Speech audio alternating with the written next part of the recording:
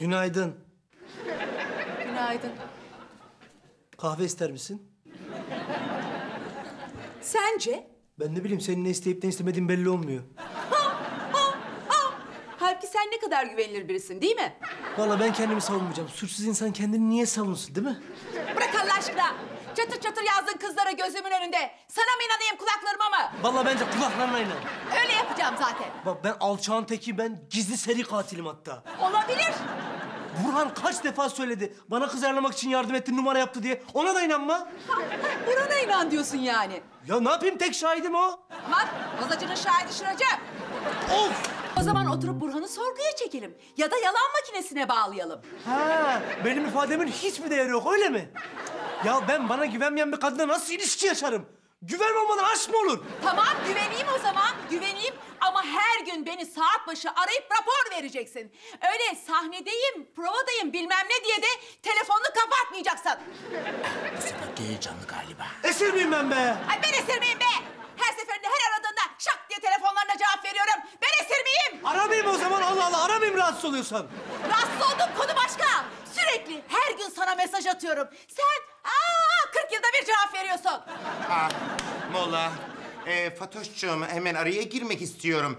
Karşı taraf çapkınlık yapmıyordu. Benim için acil bir kız arıyorduk. Lütfen devam edin. Teşekkür ederim. Devam. Bu çapkınlık mevzunu geçti artık Burhan Bey. Bu prensip mevzuna döndü. Tanrı verdi. Niye on günde bir bana gereşereze, tamam, peki gibi mesajlar atıyorsun? Bütçen mi sarsılıyor? Oo, hassas bir alan. Ya ben niye her gün sana mesaj atayım rapor vereyim? Annem misin sen benim? Yaşlı mıyım ben? Gariban mıyım ben? Hayır ama kabasın. Karakterliyim. Yapma be, yerim seni. Ben senin alıştığın o yanar dönen heriflere benzemem. Ha, vay be. Özgürlük benim karakterimdir. Benim de öyledir.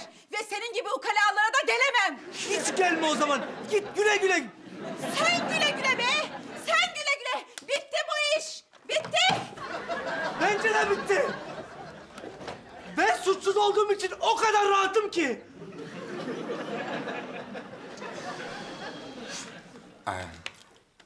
Tanrı verdi.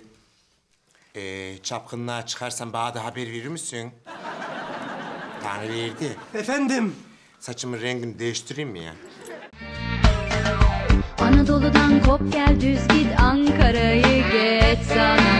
Bursa'nın biraz yukarısı. Altın İzade'den sonra köprünün hemen aşağısı